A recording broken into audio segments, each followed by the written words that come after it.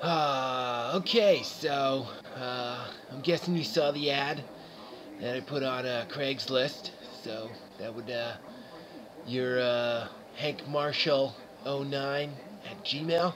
Just Hank is fine. Hank? Yeah. Okay. Alright, pretty, pretty standard roommate questions, uh, for you before we do this. Um, I'd, uh, you know, love to live with someone who, you know, is, um, pretty clean, pretty clean and uh, quiet.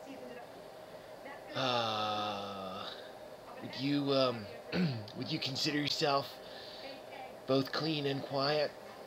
Yes, very. Yeah. Great. Great. I you know, I would have guessed if I had you know, if I had to guess from looking at that you're clean and um, summers summers can get pretty hot in the city as i'm sure you know. Um, just wondering uh, does uh, hair um, kind of free fall from you? Uh, from your head and the rest of it onto the onto the sofa you know? And the pretty much the entire apartment when it's hot? Um, am I gonna have to brush you, or No. no? Okay.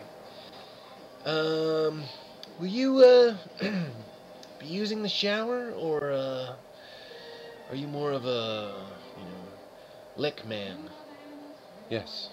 Yes, you're using the shower, or yes, you're a, a lick man. Yes, I'll be I'll be using the shower. I'm not a I'm not a Lick man? no. Okay. It's, you know, it's just helpful for us to get these questions out there. Uh, one thing that could be a problem. This is a no pets building. I don't know if that's uh, if that's gonna work. It's fine. I uh, I don't have any pets. Yeah, but